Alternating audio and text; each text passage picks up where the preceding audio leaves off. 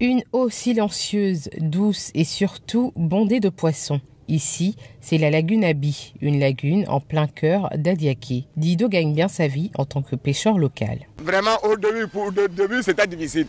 Mais vraiment, en tout cas, maintenant, je suis, je suis content parce que ça va maintenant. Je trouve que depuis que je suis accepté de faire ce, métier, en tout cas, ça marche. Ça passe bien. Voilà, donc j'encourage d'autres, ceux qui veulent aussi faire la pêche, ou bien, voilà, vous pouvez venir aussi et puis on va investir ensemble pour travailler. Son collègue Akile, lui, est certes pêcheur, mais aussi guide touristique. Un jour, il réfléchit et il a mis une pirogue en place. Elle dit que quand tu viens, tu payes 1000 francs, il te prend 20 minutes, tu peux gérer comme il est poté, et puis on fait le tournage sur l'eau.